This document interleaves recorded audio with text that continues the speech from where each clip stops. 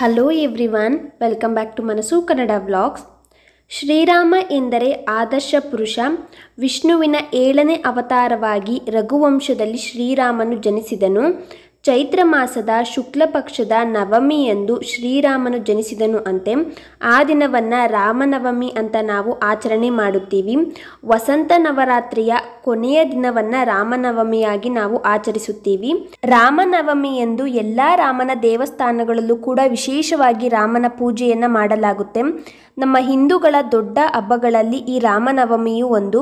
ಹಾಗಾದರೆ ಈ ಬಾರಿ ಶ್ರೀರಾಮನವಮಿ ಯಾವಾಗ ಬಂದಿದೆ ಮತ್ತು ಶುಭ ಮುಹೂರ್ತ ಯಾವಾಗ? ಹಾಗೆಯೇ ರಾಮನ ಪೂಜೆಗೆ ಶುಭವಾದ ಸಮಯ ಯಾವುದು? ರಾಮನ ಪೂಜೆಯನ್ನು ಅವತ್ತಿನ ದಿವಸ ಯಾವ ಸಮಯದಲ್ಲಿ ಮಾಡಬೇಕು ಅನ್ನೋದನ್ನ ತಿಳಿಸ್ಕೊಡ್ತೀನಿ. ಅದಕ್ಕೂ ಮೊದಲು ಪ್ಲೀಸ್ ನನ್ನ ಚಾನಲ್ಗೆ ಸಬ್ಸ್ಕ್ರೈಬ್ ಮಾಡ್ಕೊಳ್ಳಿ. ಹಾಗೆ ಪಕ್ಕದಲ್ಲಿರುವ ಬೆಲ್ಲೈಕೋನ ಪ್ಲೀಸ್ ತಪ್ಪದೇ ಕ್ಲಿಕ್ ಮಾಡಿ. ನೋಡಿ, ಈ ಬಾರಿ ರಾಮನವಮಿಯು ಏಪ್ರಿಲ್ ಹತ್ತನೇ ತಾರೀಕು ಭಾನುವಾರದಂದು ಬಂದಿದೆ. ನವಮಿಯ ತಿಥಿಯು ಪ್ರಾರಂಭವಾಗುವುದು ಏಪ್ರಿಲ್ ಹತ್ತನೇ ತಾರೀಕು ಭಾನುವಾರದಂದು ಬೆಳಗಿನ ಜಾವ ಒಂದು ಗಂಟೆ ಇಪ್ಪತ್ತ್ಮೂರು ನಿಮಿಷಕ್ಕೆ ಆರಂಭವಾದರೆ, ಏಪ್ರಿಲ್ ಹನ್ನೊಂದನೇ ತಾರೀಕು ಸೋಮವಾರದಂದು ಬೆಳಗಿನ ಜಾವ ಮೂರು ಗಂಟೆ ಹದಿನೈದು ನಿಮಿಷಕ್ಕೆ ಅಂತ್ಯವಾಗುತ್ತೆ. ಏಪ್ರಿಲ್ ಹತ್ತನೇ ತಾರೀಕು ಭಾನುವಾರದಂದು ನಾವು ರಾಮನವಮಿಯನ್ನು ಆಚರಣೆ ಮಾಡಬೇಕಾಗಿರೋದು. ಶ್ರೀರಾಮನು ಚೈತ್ರ ಮಾಸದ ಶುಕ್ಲ ಪಕ್ಷದ ನವಮಿಯಂದು ಮಧ್ಯಾಹ್ನದ ಸಮಯದಲ್ಲಿ ಜನಿಸಿದನು ಅಂತ ಹೇಳ್ತಾರೆ.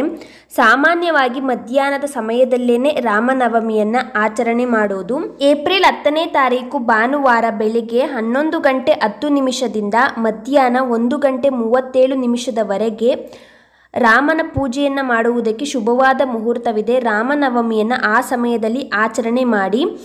ಈ ಹನ್ನೊಂದು ಗಂಟೆ ಹತ್ತು ನಿಮಿಷದಿಂದ ಒಂದು ಗಂಟೆ ಮೂವತ್ತೇಳು ನಿಮಿಷದ ಒಳಗೇನೆ ನೀವು ರಾಮನ ಪೂಜೆಯನ್ನು ಮಾಡಿ.